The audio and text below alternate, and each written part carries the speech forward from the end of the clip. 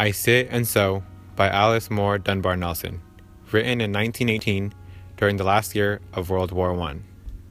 Nelson's poem is an example of women fighting for equality with men, as she longs to be in the war helping them.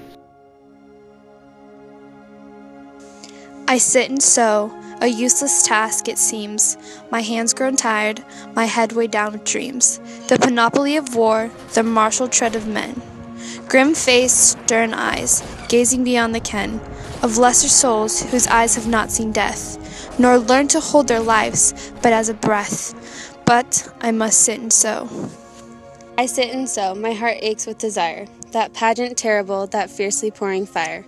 On wasted fields and writhing grotesque things, once men, my soul in pity flings.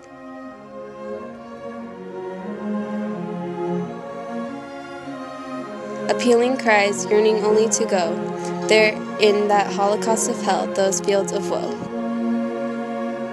But I must sit and sew. The little useless seam, the idle patch, why dream I here beneath my homely thatch, when there they lie in sodden mud and rain, pitifully calling me, the quick ones and the slain. You need me, Christ, it is no roseate dream that beckons me, this pretty, futile seam, it stifles me. God, must I sit and sew?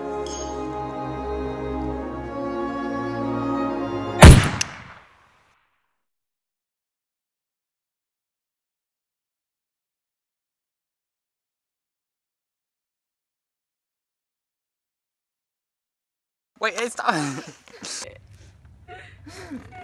This is behind the scenes. Oh my gosh.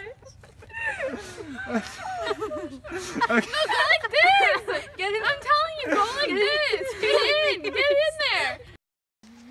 Do it. Wait, I have to get momentum. Okay. Yeah. We don't want to be like going up really fast.